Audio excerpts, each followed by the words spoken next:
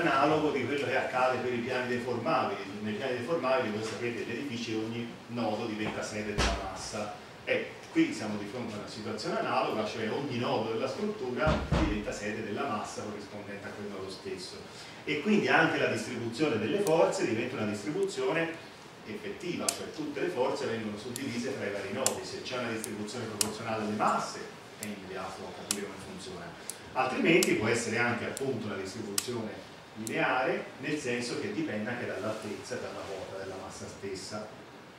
Quindi le analisi non lineari si possono condurre per questi tipi di distribuzione e alla fine e cosa abbiamo trovato? Ecco, oh, si è trovato che in effetti dando come limite il taglio ultimo che veniva fuori dall'analisi per eh, col sistema giunti ad acqua, quindi per comportamento fuori piano, la cupola era ancora in grado di resistere, però a quel punto si è preferito terminarla l'analisi, cioè si è dato noi un limite in questo caso e non si è mandata oltre, proprio per il fatto che questo modello potrebbe non interpretare molto correttamente il fuori piano. E quindi a cosa ci è servito in fin dei conti? A vedere lo stato di fessurazione era raggiunto al momento in cui si interrompeva, cioè al momento in cui si riteneva che non fosse uno stadio eh, ulteriormente raggiungibile. Ecco, quello che viene fuori come poi avrete modo anche da approfondire insomma, nelle pubblicazioni che faremo, è uno stato di fessurazione che corrisponde alle parti che sono andate in trazione nella cupola e che quindi sono state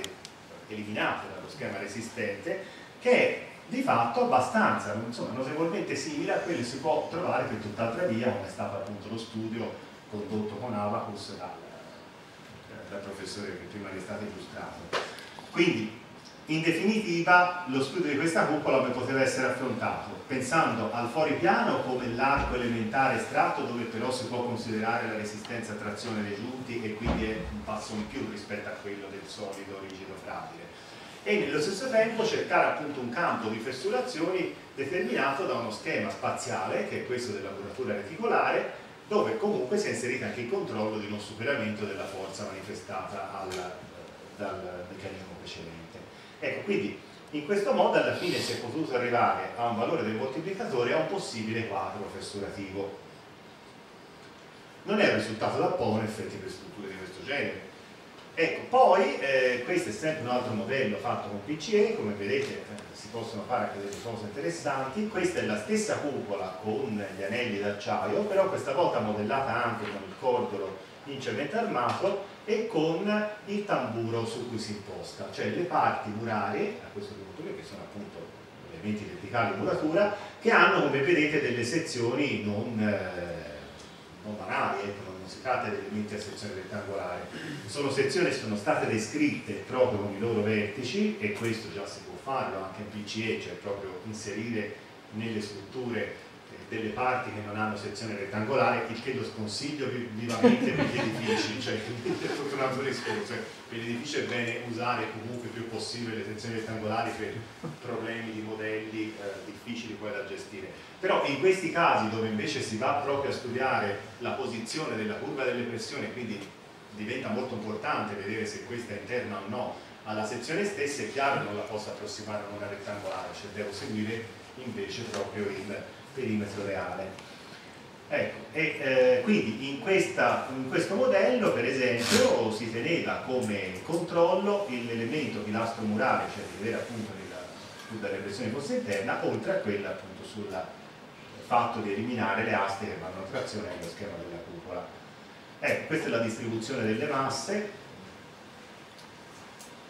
anche qui vengono tutte suddivise e quando questi elementi tipo pilastro murale si suddividono in tanti conci ogni massa finisce nel singolo nodo. Quindi c'è una distribuzione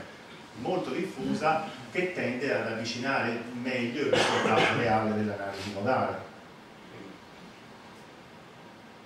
Queste sono delle immagini anche suggestive alle quali va dato il valore relativo, cioè non va pensato che questo sia accade sismicamente, perché quando si vedono l'analisi, i modi di vibrare spesso si interpretano come le deformazioni sismiche, non è questo, cioè il modo di vibrare è la frequenza elastica della struttura, cioè la sua capacità in fondo di avere delle vibrazioni e da questa dipende poi anche come arriva l'input sismico sulla struttura stessa, però non è questa la deformata finale della, uh, dello stato ultimo, eh, quindi è importante capire anche questo sono irregolari. Però il fatto che si possano trovare le frequenze di oscillazione è abbastanza importante. Ecco, oh, questo invece è, eh, dopo aver condotto l'analisi statica non lineare, sono le, eh, le analisi appunto delle, eh, delle, parti di muratura sottostanti alla cupola, cioè si guarda appunto se, non so se si vedono meglio in altre immagini, probabilmente si è più efficace in questa, ecco, questa posizione verde rappresenta la posizione della curva delle pressioni a uno stadio eh, dell'analisi eh, non lineare, cioè si vede appunto come da un la posizione iniziale l'applicazione di forze sismiche crescenti sposta il punto punto del carico verticale finché a un certo punto in alcuni di questi elementi può fuoriuscire. Evidentemente nello spirito con cui è costruito anche il software PCE la verifica eh, quindi del pilastro murario consiste nel fatto che quando fuoriesce quell'elemento diventa non più reagente e quindi sostanzialmente nel caso di un pilastro segna anche la fine del comportamento della struttura che è difficile che si possa formare una biella, un elementino e che la struttura riesca ancora appunto a, a non avere nessuna lavabilità. Comunque, questa è tra l'altro facendo anche delle animazioni, proprio si può vedere come si passa da uno stato iniziale, quasi verticale o di poco spostata, fino poi a vedere come, si, come cambia nella configurazione ultima. Ecco, questa è un'ultima immagine anche tanto per farvi capire che a questo tipo di analisi comunque si può affiancare anche delle analisi più tradizionali. Cioè, qui abbiamo studiato usando un modellatore di validità generale uno spicchio proprio rigido a questo punto della cupola sul tamburo per vedere anche in questo caso quant'è il moltiplicatore di collasso, quindi per avere un'ulteriore conferma del campo in cui eh, ci si stava muovendo. E qui ci sono varie considerazioni sulla posizione della cerniera di ribaltamento e sui valori appunto dei moltiplicatori. Alla fine c'è una sintesi dell'analisi che ci porta appunto eh, a questo valore che è questo 0,433 che eh, è abbastanza vicino appunto al valore di, eh, fornito da Abacus abbastanza vicino nel senso che non può coincidere sono talmente diversi i due approcci che ovviamente la diversità in qualche modo si paga, però non siamo fuori completamente dall'ordine di grandezza. Questo vuol dire che le indicazioni che possiamo ricevere da questa strada sono importanti. Oltretutto, il più delle volte noi non dobbiamo dare una fotografia assoluta del valore di eh, accelerazione resistente delle strutture, perché se siamo nell'ambito del miglioramento è chiaro che basta avere dei criteri logici o attendibili con cui muoversi e poi il confronto tra una situazione prima e dopo è comunque possibile anche se i valori non sono proprio quelli esatti. Ecco, e quindi è, diciamo che questo 30% di scarto è stato considerato comunque un buon risultato. Ovviamente si tratta di aspetti che stiamo continuando a indagare Va detto anche che mentre il sistema conci murari aggiunti è quello eh, dei pilastri murari che lavorano per, per, curva delle pressioni, quelli sono già validi in sé, quanto non aggiungono nulla eh, alla teoria delle strutture, questo sulla muratura reticolare è quello un po' più delicato, cioè è ancora in fase di ultimazione, per esempio il confronto fra pannelli, come faceva vedere prima il professor Camata, e anche quella comunque sembra una strada promettente perché potrebbe essere un'altra maniera per affrontare tutta la questione delle cerchiature degli interventi nelle singole pareti, cioè evitare quelle verifiche come stiamo facendo ancora del resto perché al momento non si può fare altro che eh, tentano di rappresentare comunque il mastro murario in un'unica asta perché se questo può avere un valore maggiore magari in un organismo complesso dove la scala anche della singola parete è molto meno importante rispetto a tutto il resto della struttura quando si analizza la parete in sé dove si inserisce un foro, si inserisce la cerchiatura, può diventare importante in effetti andare verso un'analisi un po' più puntuale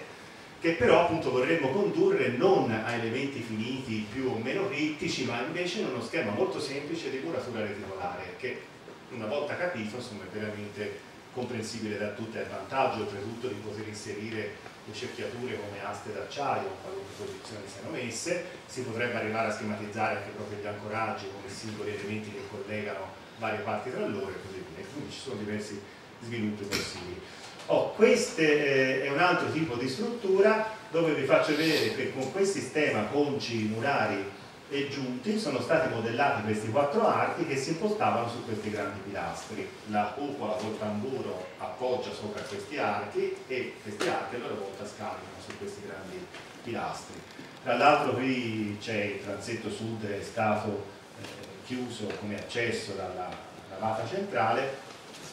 attraverso un muro, quindi inserendo questo muro, che è stato frazionato opportunamente, si può in qualche modo valutare anche se delle componenti torsionali in qualche modo sono inserite in questo tipo di eh, comportamento. Questo è lo studio della sezione dei grandi pilastri, ecco la, il nocciolo di inerzia ovviamente, lo studio della geometria delle masse, che è comunque importante per capire il funzionamento della sezione, anche se in realtà poi quando si fanno le verifiche, eh, nello spirito appunto della teoria di Heimann, quello che è il perimetro esterno, non tanto il nocciolo di inerzia.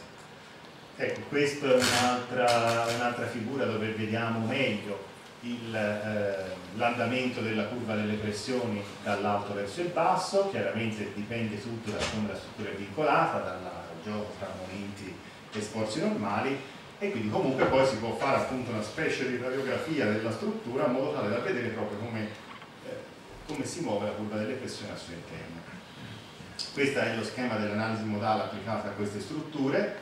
anche qui appunto c'è questa diffusione delle masse per cercare di interpretare al meglio modi di vibrare. Quindi come vedete insomma di mh, cose su cui studiare e lavorare ce ne sono molte, secondo noi sono tutte molto promettenti perché eh, se lo scopo è quello di disporre di eh, strumenti relativamente semplici, direi che la direzione è, è, giusta, ovviamente nei limiti che ci siamo posti e, e nelle sue stesse, nei suoi stessi campi di applicazione. E potrebbe aprire appunto a, a, ad analisi un po' più appropriate di strutture che il più delle volte non si sa neanche tanto bene come affrontare data eh, la loro complessità anche di tipo eh, storico e di tipo anche strutturale. Va bene, io direi che con questo ho concluso, ecco, queste, ehm, questa ricerca sfocerà appunto in un prossimo aggiornamento di PCE, di fatto sarà pienamente disponibile con eh, la nuova versione che proporremo all'inizio dell'anno nuovo e eh, soprattutto per quanto riguarda tutta la documentazione che è necessario seguire per poi poterli applicare a casi concreti. E quindi ci sarà appunto questo materiale che verrà eh, prossimamente diffuso. Bene, io vi ringrazio per l'attenzione e eh, al termine di questa mattinata abbiamo anche l'intervento dell'ingegnera Isa che ci riporta sul piano degli interventi e quindi delle, dei casi concreti eh, con cui sono stati affrontati alcuni edifici monumentali, infatti adesso parla proprio di, di queste situazioni e quindi penso sia così edificante anche riallacciarsi proprio a qualche, a qualche esempio di applicazione concreta. Bene, do la parola allora all'ingegnere.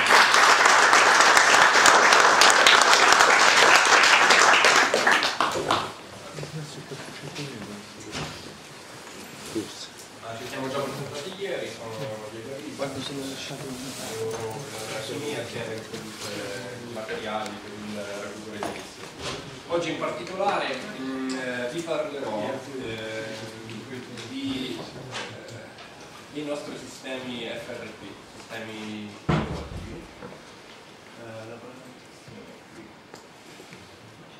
Lo farò rispondendo a quattro domande eh, che solitamente mi vengono eh, proposte eh, come responsabile tecnico dell'ufficio dell'azienda e poi vedremo eh, alcune immagini relative ad un'applicazione proprio di rinforzi di eh, una cupola a foglio.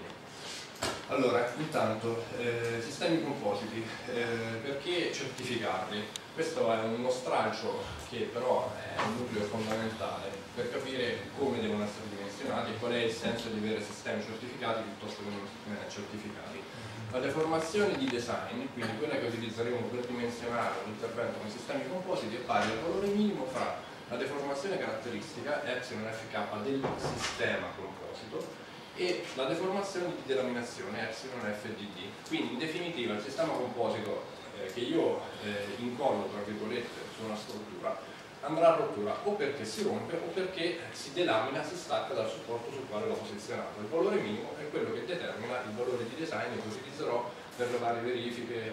di, eh, alle, agli stati limite ultimi delle sezioni in calcestruzzo o muratura. Ora, l'epsilon fk è la deformazione di design del sistema composito. Il sistema è un eh, insieme di fasi differenti, quindi c'è il tessuto di rinforzo, c'è la matrice che viene utilizzata per incollarlo al supporto. quelle che vengono scaricate, quelle caratteristiche che si vedono sulle schede tecniche della fibra in carbonio, sono caratteristiche della fibra in